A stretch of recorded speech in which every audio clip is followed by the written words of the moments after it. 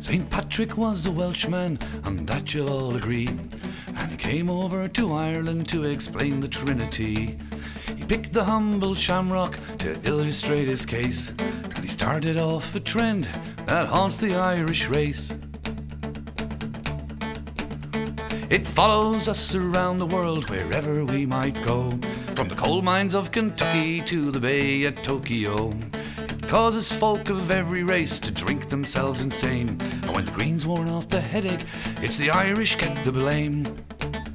I got me mother's shamrock two days after Paddy's Day. It will remind you of home now that you're far away. It came wrapped up in plastic in an airmail envelope. And it reminded me of home just as my mother hoped.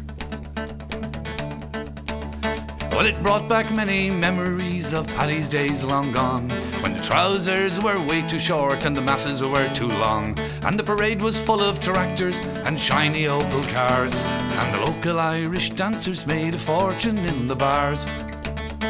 I never liked the story of him driving out the snakes. The fields would have been better with the hissing that they make.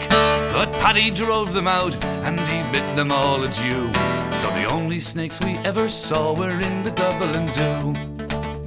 I got me mother's shamrock two days after Paddy's Day. It will remind you of home now that you're far away. It came wrapped up in plastic in an airmail envelope. And it reminded me of home just as my mother hoped.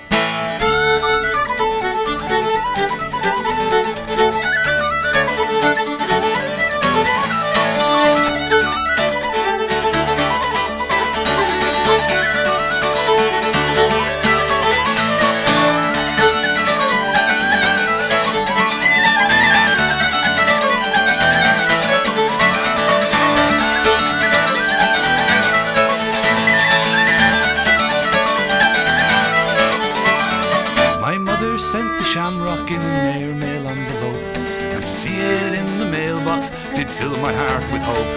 But the plastic bag had ruptured and the leaves had turned to brown. So I put it in a saucer. I said, I put it in a saucer. You know, I put it in a saucer, and I watched that shamrock